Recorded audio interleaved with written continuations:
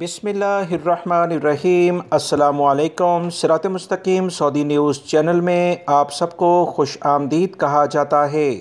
آج انتیس اکتوبر دو ہزار اکیس ہے۔ سعودی وزارت صحت کی جانب سے وبائی مرض کرونا سے متعلقہ اہم ترین رپورٹ جاری کر دی گئی ہے۔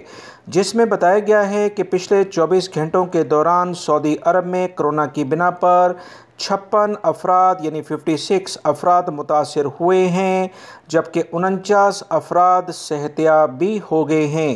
کرونا کی وجہ سے دو افراد جاں بحق بھی ہوئے ہیں۔ انا للہ و انا الیہ راجعون۔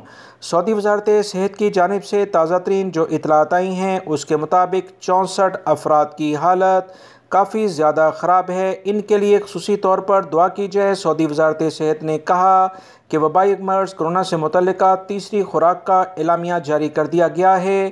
تمام غیر ملکی افراد اور سعودی شہری جنہوں نے چھ ماہ جن کو دوسری خوراک لیے ہوئے گزر چکے ہیں، پہلی فرصت میں تیسری خوراک کو لے لیں۔ ویڈیو لائک کر کے شیئر بھی کیجیے گا۔ السلام